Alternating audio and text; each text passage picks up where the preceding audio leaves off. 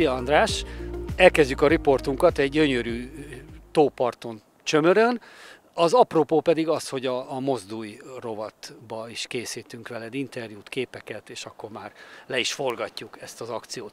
És van egy még egy apropója, hogy talán tegnap vagy tegnap előtt tettél föl a Facebookra egy, egy bejegyzést, miszerint túl vagy megint egy, egy C9 programon az utolsó napján, és tényleg ott egy fes, fes vékony fiatalembert látunk azon a képen, és hát áruljuk el, hogy te valaha nem, nem ebből az imidzsből indultál, és így jött be a mozgás az életedbe.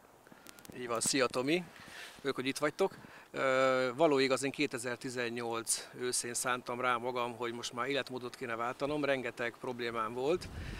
Súlyfelesleg, vérnyomás, koleszterin, vércukor, és mind-mind annak a következményének mondhatjuk talán azt, hogy alvászavarok, tehát teljesen rosszul ezt a magam. A végpont talán az volt, hogy a cipő bekötés is baromi nehezen ment már, és akkor gondoltam, hogy kéne valamit, és elkezdtem a FIT programot a C9 jó voltából, életmódot váltottam, és hát most látsz, ilyen friss, friss és fit vagyok, és ez igazából most már három éve van lassan. Azért néhány számot áruljunk el, a paramétereket, hogy akkor hol tartottál, akkor és hol most akkor voltam 48, most 51, azt mondják, hogy 10 éve fiatalmak tűnök azóta is, tehát ez egy ilyen fajta, nem csak egy életmódváltás, igazából egy ilyen fit, fitség is történt, illetve ami nagyon fontos szerintem, hogy a rovatnak köszönhet a mozdul is benne van.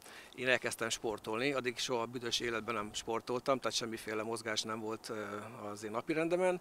A futás lett, a Nordic, illetve hogy te is mondtad, Csömör, egy kis horgásztónál vagyunk, itt van egy ilyen erőpadszerűség, ahogy majd nyilván megmutatunk, hogy azokon szoktunk mozogni. Tehát ha jól értettem, te 40 valány éves korodig az ég egy világon semmilyen sportot nem űztél, nem mozogtál rendszeresen?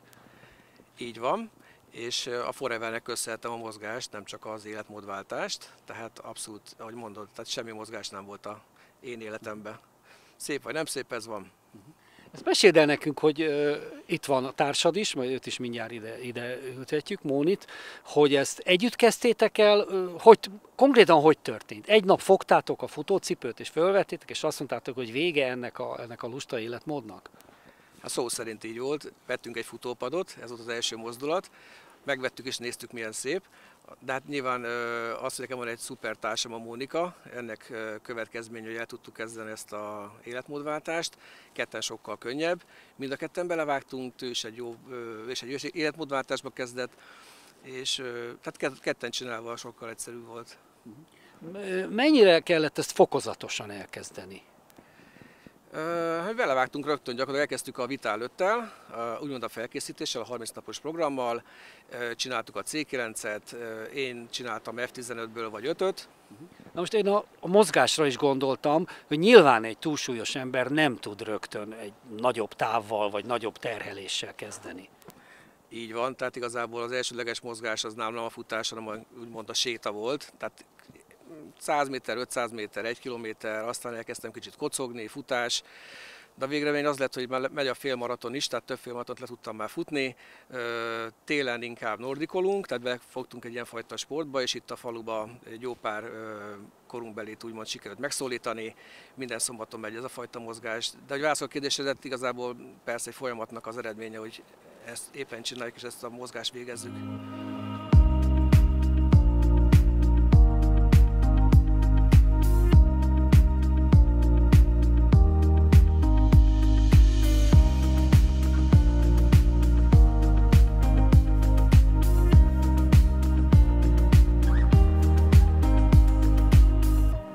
Mónik, téged is köszöntünk itt a kis kültéri stúdiónkban, rögtönzött stúdiónkban.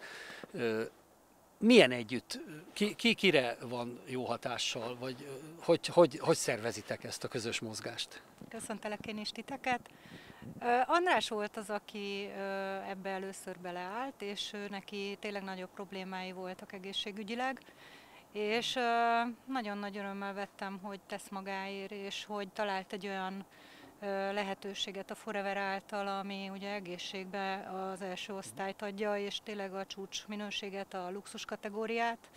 Nekünk nagyon fontos volt eddig is, hogy minőséget vásároljunk és minőséges ételeket tegyünk, és ezzel az életmódváltó programmal az étkezésünket is természetesen megváltoztattuk, nem csak a, a, a testmozgásunkat, hanem az étkezést, és ezáltal a kettő egybe így nagyon jól szuperált. És a mai napig tartjuk, tehát folyamatosan ö, foglalkozunk ezzel és csináljuk. Korábban terát se volt jellemző, hogy, hogy sportolsz, mozogsz? De, de, de jellemző volt, én nagyon szerettem sportolni, én egy ilyen izgágok kislány voltam. Aztán megszülettek a fiúk, és ugye a munka után az ember hazajött el, rendezte a gyerekeket, az étkezést, a leckét írtunk, ez mind ülő volt, és valahogy úgy fölrakódtak a kilók észrevétlenül egy 10-15 év alatt. Tehát, hogy nekem ez idegen is volt, és nem is éreztem jól magam ebbe a helyzetbe, úgyhogy aztán, amikor András ezt a életmódváltást így kitalálta, és neki rugaszkodott, teljes mértékben válszélességgel kiálltam mellette, és én is társa lettem ebben. A Mónika jó témát érintett, mert hogy, hogy András, mi a véleményed, hogy, hogy az emberek mindig találnak, és hát sajnos van is, tehát van kibúvó, a, a sok munka, a sok otthoni feladat, szóval, hogy mit tanácsoltok azoknak, akik, akik e, ezek miatt nem tudják elkezdeni, hogy, hogy nekik se idejük, se lehetőségük? Hát ez egy jó nehéz kérdést tettél fel, Tomi. Talán az, hogy hozzá egy döntést. Tehát az ember nem hozza meg a döntést, csak úgy tologatja, addig nem lesz életmódváltás. Tehát mi is meghoztuk a döntést, és azt mondtuk, hogy holnaptól ez van, és csináljuk. Tehát mi arra biztatunk mindenkit, hogy kezdje el ezt az életmódváltást, mert ez a legjobb, és nagyon-nagyon sikeres lesz benne mindenki. Hát én ezt tudnám talán üzenni mindenkinek, hogy most mozdulj, és akkor a különböző mondjuk úgy, hogy sportágak, azok, azok milyen százalékban, hogy oszlanak meg, tehát hogy osztjátok be, hogy, hogy mi éppen mit csináltok? Hát én magamról tudok csak egy pár gondot mondani. Én minden héten többször futok, itt ahogy látod ezen a szép környéken, ezen két-három alkalom, illetve szombatonként megyünk nordikolni, ez a heti négy mozgás megvan minden héten. Neked, Móni?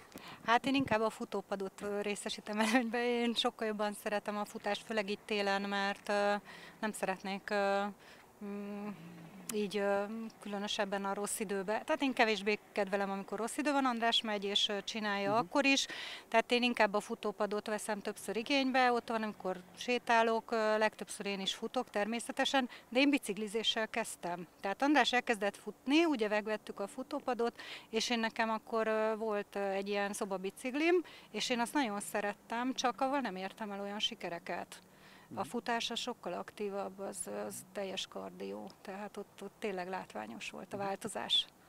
Hát Móni szavaiból azt veszem ki, hogy azért itt, itt ki kellene, vagy ki kell lépni a, a komfortzónából, olykor-olykor. Jól érzed, Tomi, jól érzed. Ez megy 26 éve nagy boldogságban.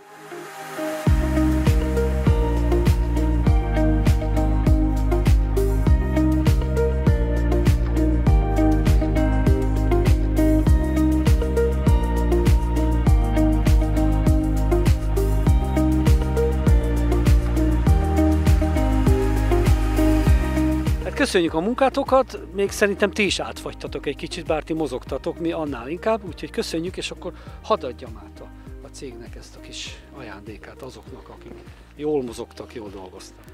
Köszönjük szépen a lehetőséget, és nagyon örülünk, hogy ilyen sokan a Forever TV-ben látják, hogy milyen szép irányba megy az élet, és kívánom, hogy mindenki használja ki a lehetőségét a mozgásra, legyen fit, legyen fiatalos, és, és éljen sokáig. Köszönjük szépen! Mi köszönjük, sziasztok! Sziasztok! sziasztok.